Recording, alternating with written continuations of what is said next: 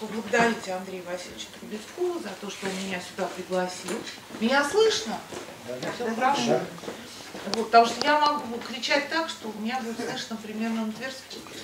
А, поэтому вы регулируете, регулируете громкость по, по, голосовым сигналом.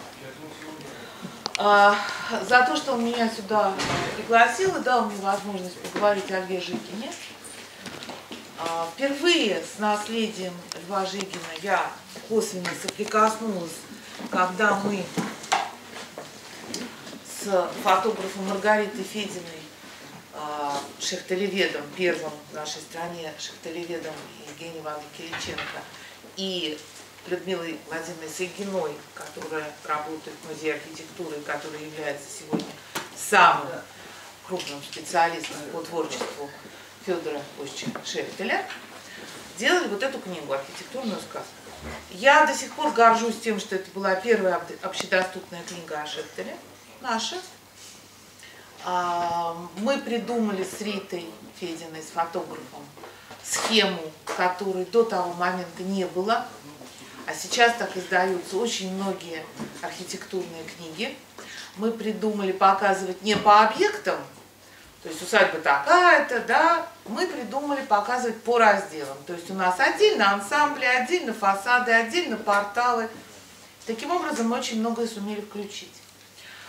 И вот тогда я впервые косвенно соприкоснулась с наследием э, Льва Федоровича.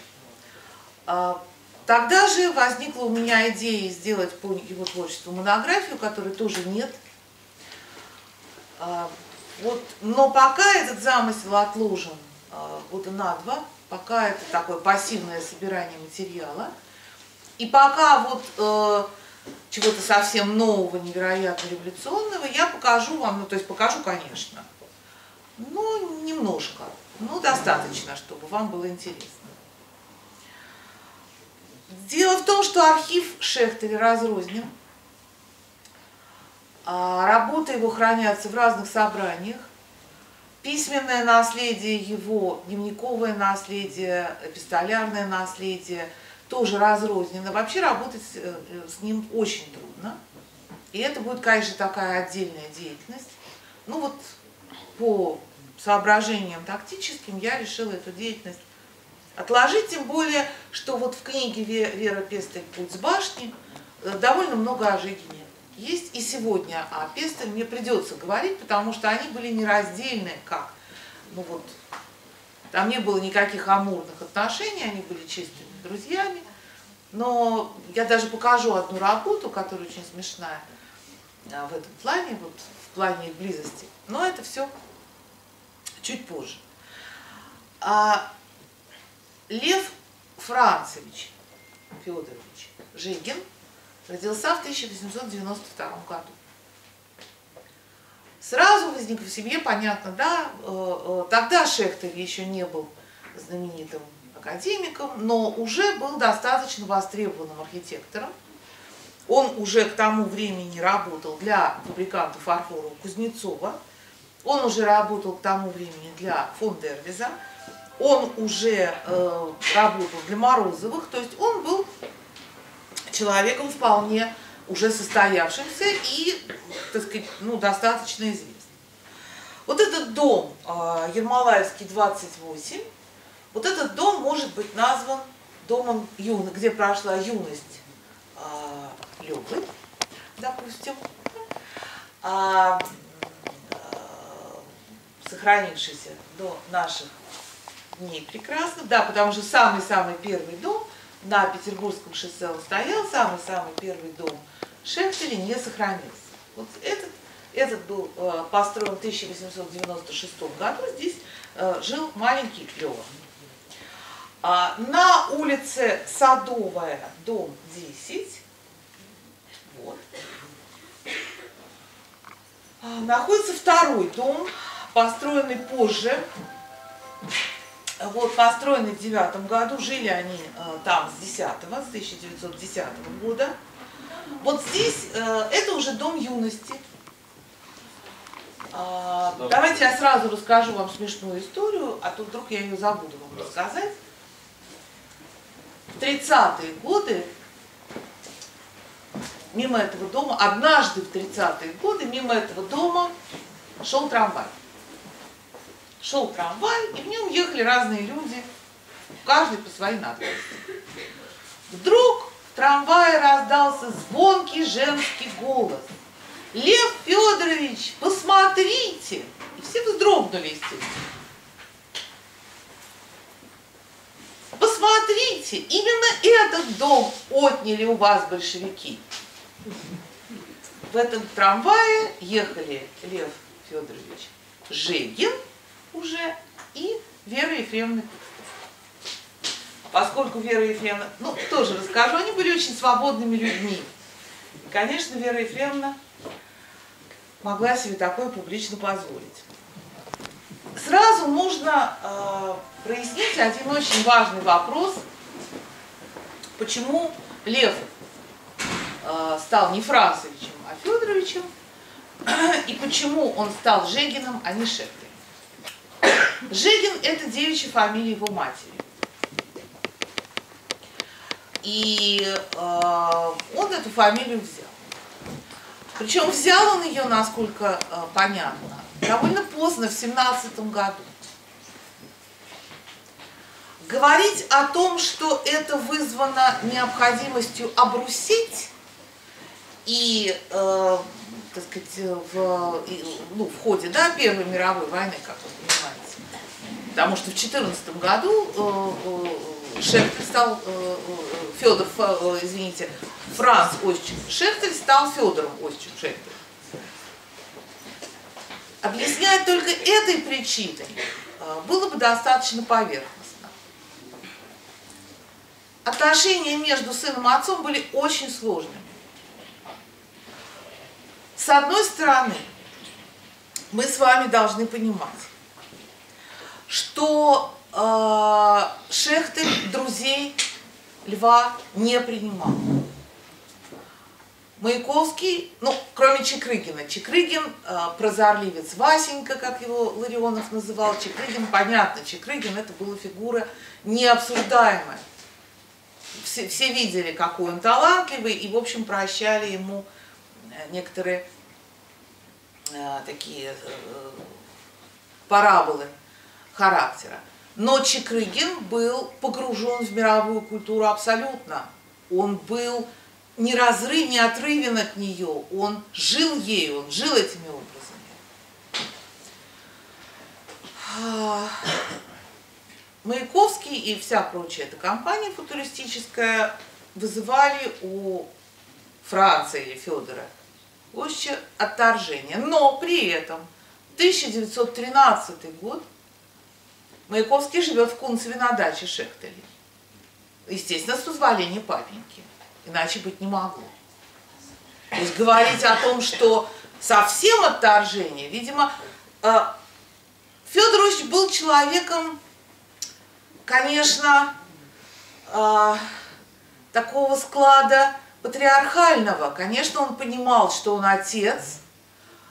Он, вот, натура проявляется в очень разных видах, формах, материалах. А, Федор Шехтель великий архитектор-новатор не только потому, что он нам построил красивые здания. Он предложил новый принцип построения здания. Если раньше архитекторы строили от фасада как бы внутрь, да, к интерьеру, то Шехтель предлагает совершенно другую историю. Он выстраивает ось, ну, у него обычно на эту мысленную ось наматывается лестница, да, а потом от этой оси идет наружу. Это совершенно другая, другой принцип строительства. И вот такой осью своей семьи, своего семейного мира, он мыслил самого себя. Поэтому, конечно, он внимательно смотрел за тем, чем заняты его дети. Но при этом он не препятствовал их свободному развитию. До известного предела, потому что когда Вера Федоровна собралась замуж за Маяковского – Папенька сказал нет. И я всегда на эту тему шучу, кто виноват в о самоубийстве Маяковского. Кто виноват в самоубийстве Маяковского? Конечно, Шехтер. Если бы она вышла за него замуж, глядишь, и было бы все хорошо. Но это шутка, конечно. А в 13-14 году Чекрыгин и Шехтель отправляются за границу. Я не видела документов, к сожалению. Я не знаю, есть ли, сохранились ли эти документы. Я их пока не нашла. А, у меня чисто обывательский вопрос. Чисто обывательский, совершенно не обязательный. Простите, ну понятно, на какие деньги ехал э, э, Лев, да? Лев Федорович, тогда Францевич еще, да? на папенькины деньги. Папенька финансировал эту поездку. А Чекрыгин на какие деньги поехал? Вопросительный знак. Я предполагаю, что он поехал на, на деньги э, Шеттеля. Так, я думаю, это абсолютно, вот, э, как сказать, э, на, на, во время следствия откажусь. Но это мои предположения, чисто такие эмоциональные, чисто обывательские. Так что, может, он и был деспотом, но до известного предела Э, как бы распространялся этот деспотизм. Э, есть такая история, э, то ли апокрифическая, то ли реальная, что в 60-е годы, незадолго до смерти, Лев Федорович спустил кого-то с лестницы, когда его попросили рассказать об отце с криком там «Я ненавижу этого человека, вот. Я не знаю, апокриф это или это правда, я, видите, даже имен не называю, но вот во всяком случае такая, такая, такая, такой сюжет тоже есть. А, как бы ни были эти отношения непросты, тем не менее они вот вдвоем, э, отец и сын, тем не менее они были, тем не менее, э, отец позволял, не принимая категорически того, что делает, делает э, сын и его окружение. Тем не менее, отец щедро и без разговоров все это финансировал. Когда э, Льву захотелось поступить в два высших учебных заведения, он поступил. Это был, было московское училище живописи, вояния и зодчества, и это был Московский университет, юридический факультет. Он поступил туда, и отец ему предоставил абсолютно свободный выбор. А, конечно, какие-то трения были. Конечно, какие-то трения были. Конечно, Шехтель ну, не, ну, ну, ну, ну, не лежала у него душа ни к какому этому футуризму, ни к чему этому. И когда 1913 году, этот год будет у нас фигурировать очень подробно, а в 1913 году Лев Федорович э, был одним из участников туристической выставки, он э, фигурировал под псевдонимом Л. Остовьев, то есть не Шехтель не Жикин. Но тем не менее, опять же, когда Лев Федорович бросил мужа ВЗ, потому что он не только юридически бросил, он и это тоже бросил. Сейчас поговорим об этом. Когда он это бросил, а, он работал, он зарабатывал в мастерских отца. Он помогал отцу с его архитектурными проектами. Поэтому отношения были очень сложные, отношения были э, двух крупных личностей, но тем не менее эти отношения были. И самая главная причина не в том, что э, родственники э, ругались. Мы все кому-то родственники, и мы все с кем-то ругаемся. Это в конце концов житейское дело, не надо об этом специально говорить. Самое главное э, то, что Лев Федорович был человеком очень отдельным, очень сам по себе очень трудно объединявшимся, ну вот, э, кроме, так сказать, совсем таких э, соратников. И в этом, наверное, э, причина. А так вот все, в общем, сошлось. И э, Первая мировая война, конечно, все это как-то вот... И он стал Жениным. Под этим, по этой фамилии в искусстве он известен. Но это я сильно забежала вперед, а должна я сказать о том моменте, когда он только-только начал свою художническую, свою вообще самостоятельную деятельность.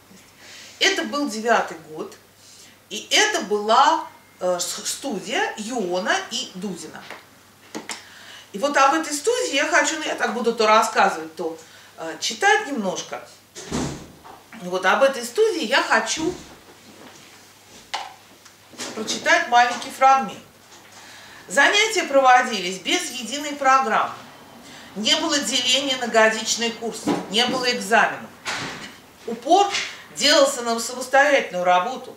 Студийцев приучали писать с любой натуры, в том числе обнаженной, что не разрешалось в училище. Занятия сопровождались диспутами, обсуждениями. Часто организовывались выставки, издавался журнал. Все здесь зависело от дара и трудолюбия. С начинающими преимущественно занимался Иван Дудин, с более подготовленными Константин Юлан. Он обладал редким даром не только учить других, но и при этом учиться самому, заражал всех своей энергией, жаждой служения искусству, не навязывая никому своих тем и манеры письма. Молва о новой студии разошлась по всей Москве и другим городам. Сюда приходило на занятия до 200 человек. Через нее прошло примерно 4 тысячи студийцев. Не все из них стали профессиональными художниками, но сохранили навсегда память о ней и учителя. Значит, вот имена, немножко, немножко имен, да, Куприн, Фаворский, Фальк, Веснины. Вот это вот из, из тех персонажей, которыми я занималась, это художник Филипповский, это та же Пестель. То есть это очень крупное такое явление школа э, Юона и Дудин. Ну, потом, как я уже сказала, он поступил э, в МУЖВЗ и э, на юридический факультет Московского университета. Потом поехал за границу. Об этом он в автобиографии написал. Э, прошел по мастерским художников, все посмотрел и, в общем, понял, что учиться ему незачем что он уже все понимает, все знает, вот, и э, училище тоже, ну, в автобиографиях пишет, что он как бы до 19 -го года там учился, ну, не знаю, как он получился, ну, допустим. В МУЖВЗ он познакомился с человеком, который стал для него, для русского искусства, для нас всех фигурой, ну, какой-то космической, в буквальном смысле космической величины. Он познакомился с Василием Чекрыгиным. И вот тут, с тем самым прозорливцем Васенькой. И вот тут я хочу показать вам одну страшно интересную новеллу, которая, конечно, у меня в книжку войдет. Но пока вот я ее впервые озвучиваю здесь и сейчас. Что-то простая, элементарная штучка. Это такая бытовая сценка. Здесь изображены мать Чекрыгина и Вера Федоровна Шефель. В общем, ничего особенного. Ничего примечательного. Бытовая сцена. Эта работа хранилась у Александра Михайловича и я очень счастлива, что вот в архитектурной сказке мне довелось ее впервые опубликовать. Но эта простейшая композиция неожиданным образом запала в душу и Жегину, и Вере Пестель.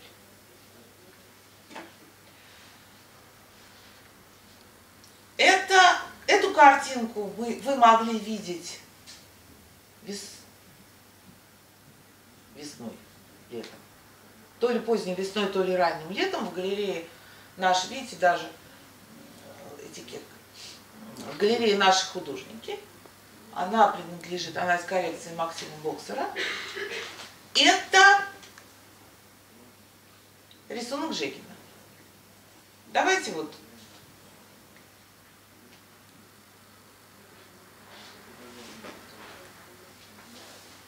Так? Значит, это рисунок Жекина. Люди за столом, все вроде как бы нормально, вот, только справа у нас возникает очень странная фигура. У нас возникает абрис распятия. Дальше больше. Смотрите дальше. Это очень странный рисунок. Не очень понятно, кто автор. Пестель или Жигин. Не очень понятно, кто. Дело в том, что они очень похожи бывают в композициях. В живописи они совсем не похожи. В графике они очень похожи бывают. Здесь распятие уже очевидно. Композиция та же. Теперь смотрите точно Жигинскую работу. Совсем мы возвращаемся к бытовой сцене, у нас такой, в общем, комнатный реализм, да? Но мы не можем не видеть, что это одна и та же композиция. Мы же это видим, да? И вот совсем, совсем такой вот конструктивная вещь. Видно все, мы не можем увеличить, да, пока. Ну, ладно. Видно всем Это уже совсем жегинская такая конструктивная вещь. Тот же стол. Ой, спасибо, спасибо, спасибо. Ой, спасибо. Вот. Вот эти символика, конечно, вот эта прорастающая лоза, да, справа. То есть что мы видим? Давайте вернемся к Чекрыгину. Давайте вот на этом остановимся, наверное, да, все-таки на Жигине раз мы о нем говорим. Еще раз на Чекрыгина посмотрим. Вот, и на Жегине, к Жегину вернемся. Мы видим, что простейший бытовой сюжет разворачивается в нечто совсем непростое, совсем необыденное, обладающее сакральным смыслом. О Жегине мы что знаем? Что это религиозный символизм, об этом чуть-чуть позже опять же поговорим. Вот э, давайте о столе я прочитаю вам два отрывка. Первый отрывок принадлежит Борису Успенскому, э, писавшему предисловие к той самой знаменитой книге Жегина «Язык живописного произведения», заголовок «Условность древнего искусства». Это 70-й э, год издания, э, книга, вышедшая через год после смерти Льва Федоровича. Что пишет Успенский? Древний художник не может или не стремится изобразить просто стол, поскольку реально стол этот находится в окружающем его пространстве. Слово «пространство» я попрошу вас запомнить. Поэтому художник должен изобразить прежде всего само это пространство, и здесь ему способствует динамическая зрительная позиция, и тем самым как бы поместить нас внутри, внутрь картины. Итак, перед художником стоит задача переорганизовать видимое пространство в пространство в себе замкнутое, аккомодируя его к двумерной плоскости и ограниченности размеров картины. Соотносится прежде всего не стол в жизни и стол в картине, а мир жизни и мир картины. То есть то пространство, в котором находится стол и отражение этого пространства в картине. Перспективные закономерности, извините,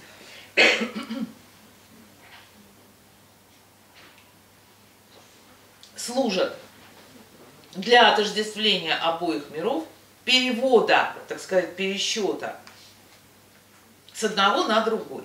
Конкретный же объект, например, стул, постигается через его место в мире, в том или другом взятое в отдельности, изображение стола может быть непосредственно и несоотносимо с его, со, со столом реальным. Подобно здесь не только само конкретное изображение, но скорее относительное соотношение. Место предмета в реальном мире соответствует месту изображаемого предмета в мире картины. Изображение стола таким образом служит прежде всего указанием на его место в изображаемом пространстве.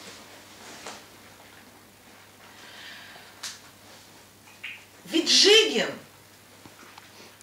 формировался в ту эпоху, когда впервые за более чем два тысячелетия человеческой истории было, была опровергнута доктрина Аристотеля о том, что искусство создает подобие жизни. В 1910-е годы был Шкловский, да, были эти молодые левые ребята, с которыми Жегин, конечно, общался. Была история, возникла история о том, что искусство это никакое не отражение, что искусство это само действительность, это просто другая действительность, это действительность. И Жегин впитал это как в поры кожи.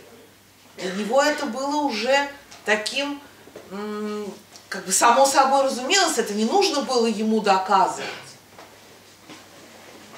И вот смотрите, что он пишет сам своей вот этой книге, да, «Язык живописного произведения».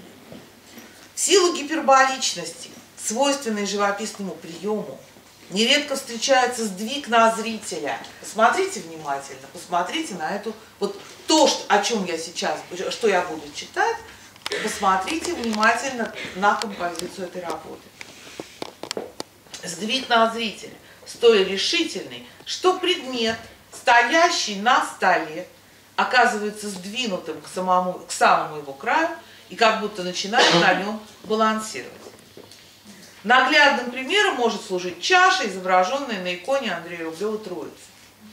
Во всех подобных композициях изображения чаши оказываются сдвинутыми переднему краю стола или престола. Сдвигу на нас подчиняются не только неодушевленные предметы, стоящие на столе. Если, например, изображается фигура сидящего человека, она оказывается сдвинутой на край сидения. Посмотрите внимательно, здесь сидения вообще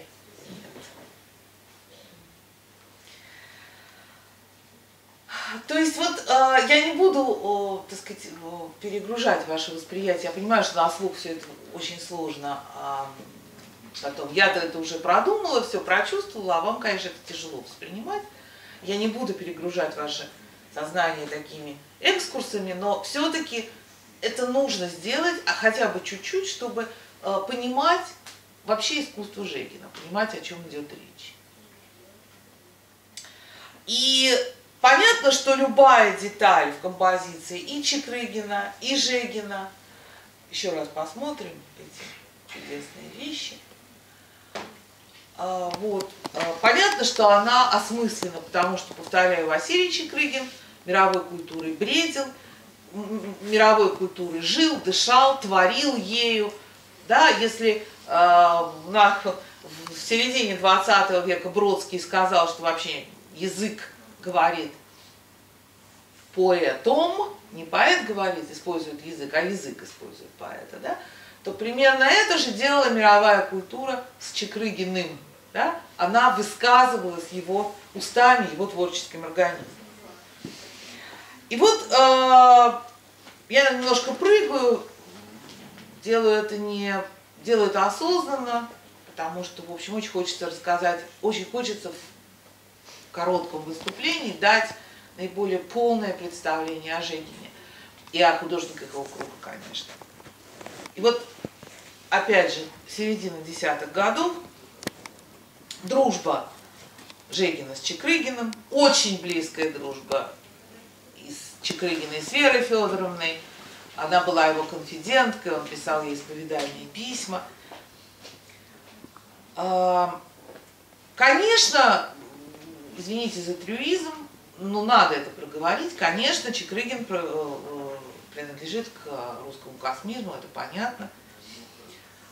А, ясно, что э, это философия общего дела, это воскресенье мертвых, все это вы знаете.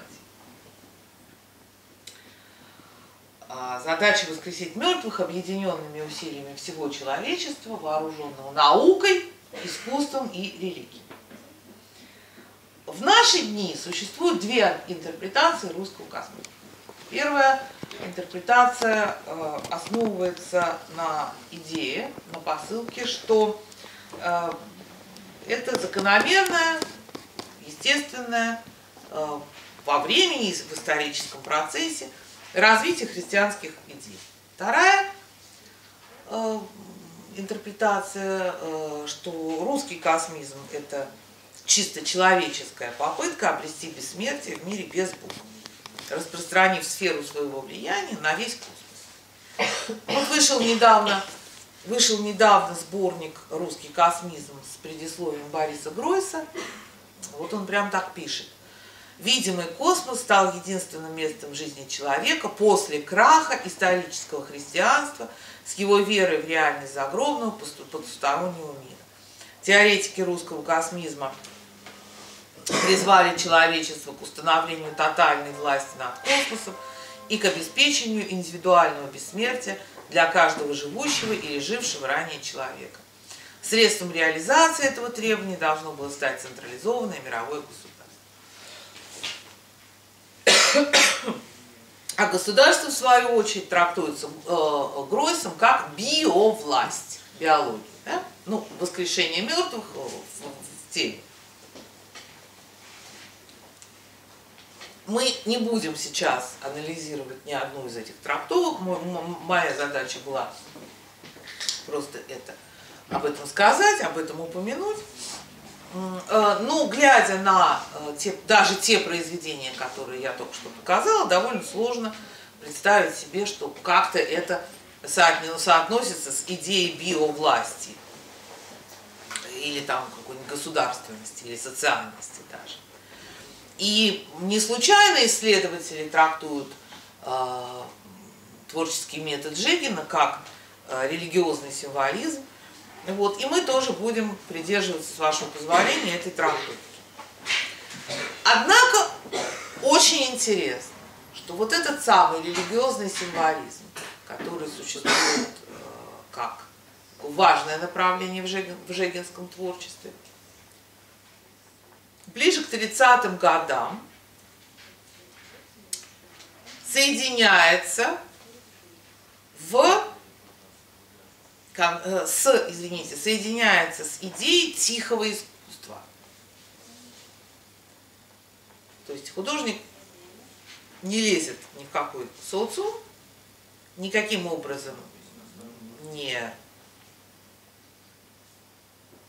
оказывает себя как ну, не показывает себя на выставках и так далее, не лезет вот в этот шумный мир, а сидит и работает. Вера Пестель работала в диван, Жегин работал в шкаф.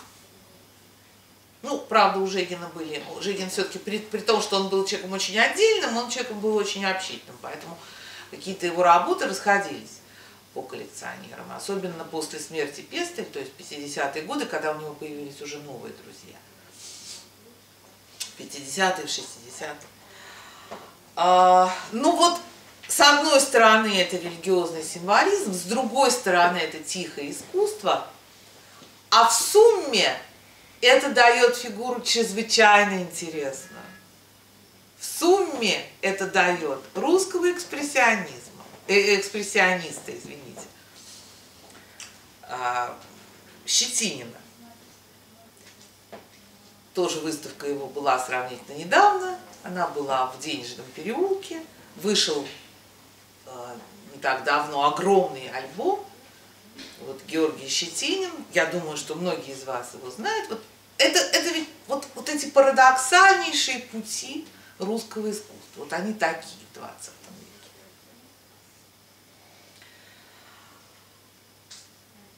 А, в воспоминаниях Жегин обращает внимание, что именно Чекрыгин в начальные ученические времена возродил в сознании сверстников идею красоты. Да, это 1910-е годы. Идея красоты вообще периодически она нуждается в реанимации, потому что э, мы забываем о том, что она в искусстве, вообще говоря, главенствующая. Э, проводником этой идеи был Чекрыгин. И основным предметом раздумий Чекрыгина был художественный образ.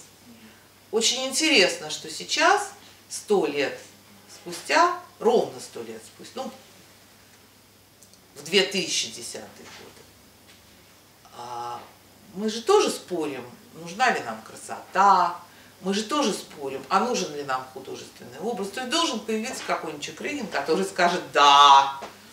Ну, пока вот вроде нету. В дальнейшем э, возродить искусство образа, то есть вернуть искусство к его первооснове, к его живым непосредственным источникам, такова была задача, которую Чекрыгин себе ставил. Это слова Жекина. Ну вот, а мы опять в 13 год возвращаемся. У нас, с одной стороны, глубочайшие раздумья об образе, о э, глубинной сущности, о мировой культуре, о религиозном символизме, а с другой стороны у нас молодые люди, да, 8 плюс 13, это сколько? 8 плюс 13. Сколько 8? 21, извините. Да. Вот. А у нас 21 год э, Жегину. Понятно, что он думает о глобальных проблемах образа. Но понятно, что в 21 год мы все думаем не только об этих глобальных проблемах. Мы, извините, просто хулиганим, вообще живем. А, вот, и веселимся, и эпатируем публику. Конечно, вот эта вот обложка книги Маяковского «Я» рисовал Чекрыгин и Л. Ше. Обратите внимание, Лев Шехтель, да, вот. То есть он еще... И вот обратите внимание на это, вот, на, на, на, на, на, эти, на это сокращение. Не надо было папеньке фамилию Шехтель вот, вот под этой кляксой. Вот. Почему-то, э, э, что Жегин рисовал эту обложку, все знают, а почему-то вот мало кто, ну как-то не все знают, что вот этот портрет Маяковского в широкополой шляпе, это тоже Жегин. Значит, с этой э, с, с, с изготовлением этой книжки связана тоже очень смешная история. Штаб издательский тоже, тоже Жегин, да, его мемуары, 12 год. Штаб издательской квартиры была моя комната. Ну, понятно, да, вот в этом потрясающем особняке на Садовой, неоклассицизм, эти барелье, э, а, этот Шехтель, эта семья, этот Маяковский, со, своим, со своей желтой кофтой в этом особняке, в этих интерьерах. Ну, фантастика. Штаб издательской квартиры была моя комната. Маяковский принес литографской бумаги и диктовал Чекрыгину стихи, которые тот своим четким почерком переписывал особыми литографскими чернилами. Четыре рисунка, сделанные Чекрыгиным тем же способом литографским, сами по себе замечательные, однако только внешне вяжутся с текстом Маяковского. Ну вот, Вася, бурчит Маяковский, опять ангела нарисовал. Ну, нарисовал бы муху. Давно муху не рисовал. Работа над внешним оформлением книжечки продолжалась неделю или полторы. И вот так они выглядели все. Ну, давай. Ну, почему она не, не хочет?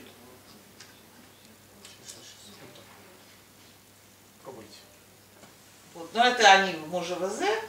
Вот это, сейчас я все время забываю последовательность. Сейчас покажу. Ой, а уменьшите, пожалуйста. Да, вот, вот это сам Женя. Значит, это Хлебников. А, это мой. Вот они. А вот, это они, соответственно, значит, рисуют. А вот, а теперь я покажу. Это Жегин, работа Жегина. Это вот они втроем за этой за изготовлением вот этой самой книжечки обратите внимание на шляпу углу. В углу лежит широкополая шляпа Маяковского. Наконец, подготовленный, это в музее Маяковского работа хранится. Наконец, подготовленные к печати листки были собраны с большой осторожностью, ибо литографская бумага чувствительна к каждому прикосновению пальцев, и снесены в маленькую литографию, которая, как помнится, помещалась на Никитской в Клыновском тупике. Через 2-3 недели книжечка «Я» с рисунками Чекрыгина и моими была отпечатана в количестве 300 экземпляров. Маяковский разнес их по магазинам, где они довольно скоро были распроданы. А, к 1913, тому же 13 году относится еще один очень смешной эпизод, когда члены футуристической группы Гилея собрались дать очередную пощечину общественному вкусу и дали вечер поэтический. Они надеялись на то, журналисты и сами художники ждали скандала. Они хотели, чтобы в них полетели яйца, помидоры. Они ждали, что их сейчас всех, все немедленно э, ошельмуют. Вот. А ведь был же замечательный случай, когда э, Шкловский читал свой доклад «Воскрешение слова», и когда после этого доклада публика решила их бить, и они проходили буквально сквозь строй. А, Шкловский писал, я был сильным, прошел, а Бурлюк снял ботинки, с ботинки снял, надел их на руки и шел вот так.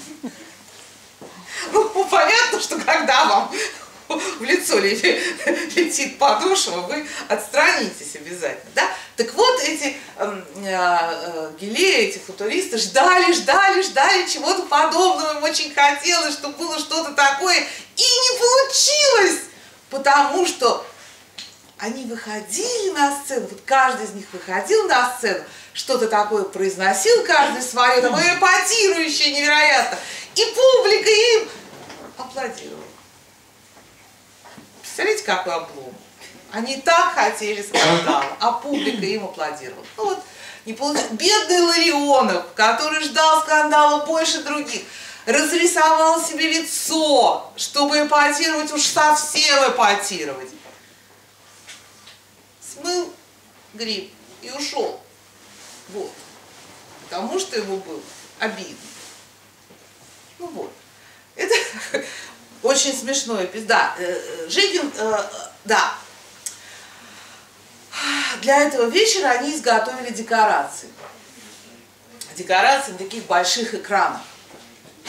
Экраны эти должны были символизировать, вот давайте эту деталь запомним, а, то, насколько русский футуризм отъединен, отделен от остального мира. Ну вот просто эту деталь запоминаем и дальше – немножко серьезного. А ведь понимаете, в чем дело? Вот пощечина общественному вкусу, Маяковский, желтая кофта, кофта фата, все это мы знаем. Да, сбросим Пушкина, понятно, да, сбросим Пушкина с корабля, понятно, да? И дальше вот этот весь манифест, вся вот эта история. И при этом, при этом, близкий друг Маяковского зовется как? Василий Чекрыкин.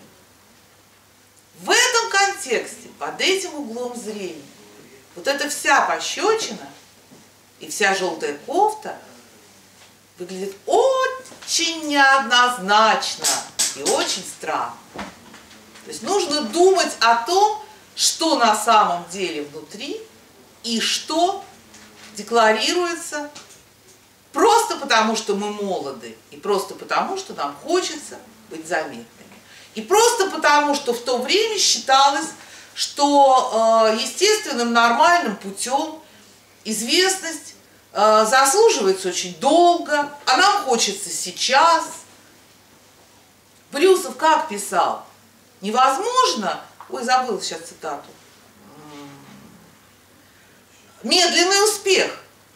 Это долго, мне долго, мне нужен взрыв. Вот они также все, в общем, э, рассуждали. Медленный успех это долго, это скучно. И это совершенно не нужно. Ну вот их фотография.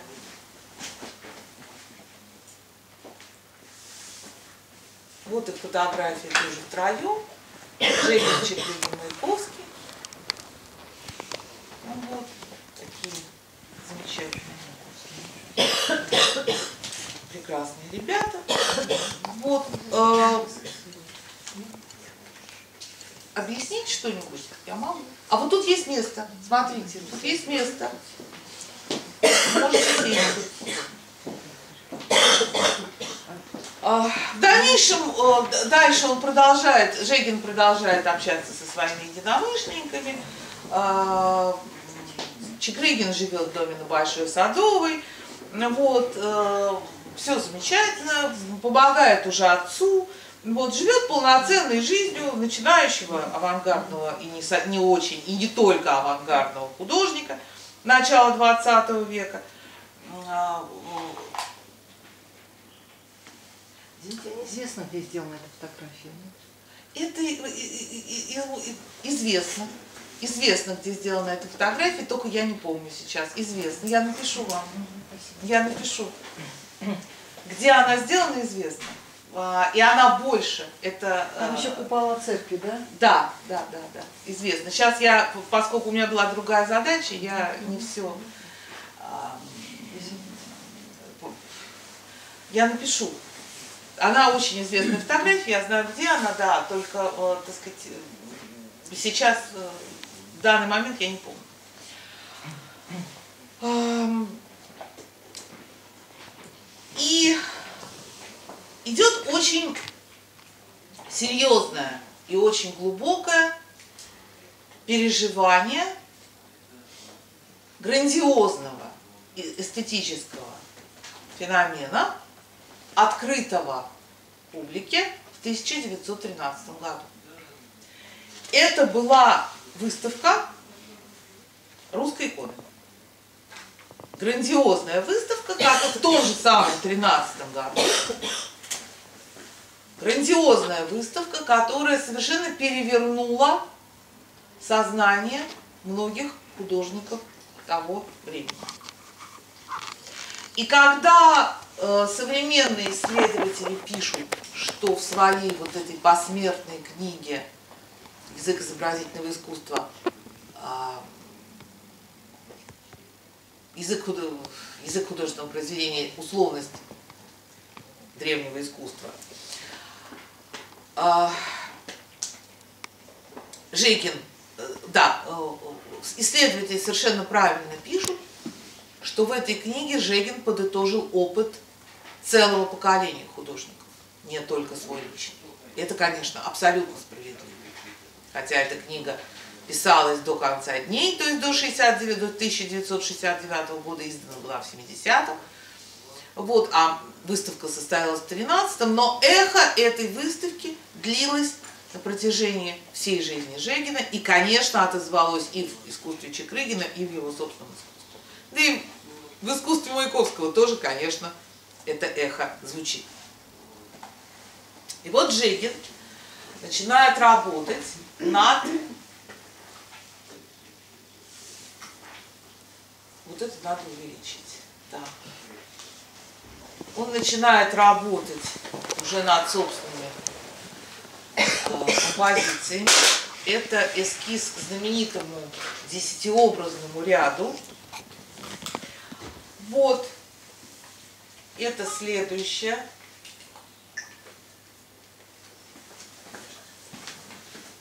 Это только эскиз. Это уже следующая а, работа. Ну, я покажу сразу. Нет, я не буду, я потом покажу третью, а, уже более, более такую. Значит, вот комментарий самого Жегина.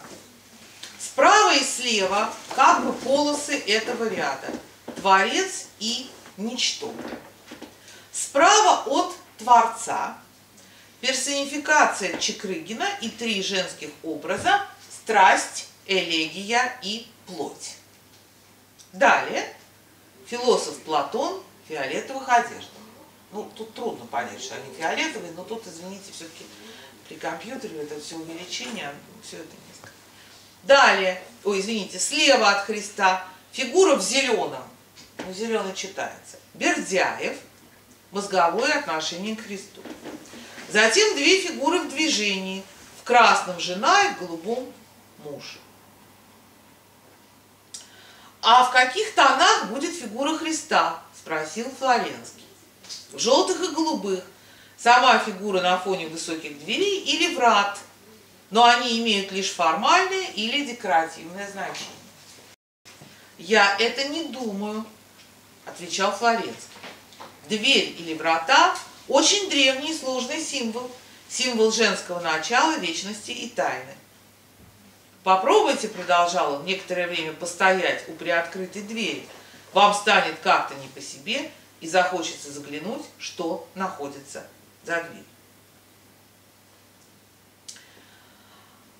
А, ну вот давайте еще вот, вот эту последнюю композицию на эту тему, да, уже более, собственно, то же самое, но уже вот эти три женские фигуры слились в одну, да, а так мы, в принципе, видим и Бердяева, и э, Чекрыгина, и женское мужское начало, вот это все мы видим. Ага.